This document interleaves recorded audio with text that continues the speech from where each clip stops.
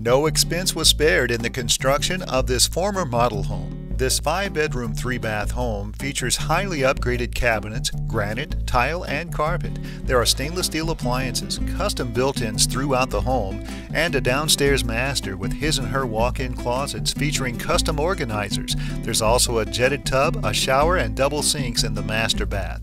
The separate loft area has a built in entertainment center. There's so much more to see here, so don't wait to arrange your private tour.